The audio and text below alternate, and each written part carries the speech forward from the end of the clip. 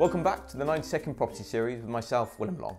In this production, we're going to be looking at general mould and condensation within properties. We're going to start in the kitchen uh, and a very commonly known and uh, used um, appliance is the kettle. Now, multiple boils of the kettle is going to produce a considerable amount of condensation and moisture within, the, within the air.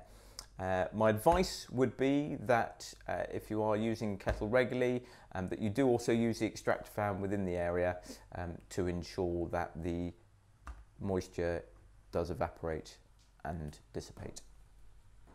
Second top tip, another very obvious one, uh, is boiling water in saucepans.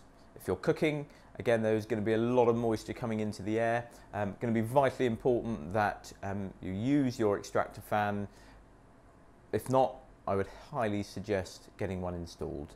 Um, but otherwise, a lot of water is going to be evaporating into the ceiling, into the room, uh, and again, that is going to settle on cold walls uh, and over time become an issue. Another very obvious tip is removing any excess water that is left following washing up or following cooking. Again, very easy. Ensure that you've always got a, a cloth at hand wipe the worktops once you've finished, ensuring that you do wring it out as much as you can. Uh, that will again remove any water that is going to evaporate into the atmosphere.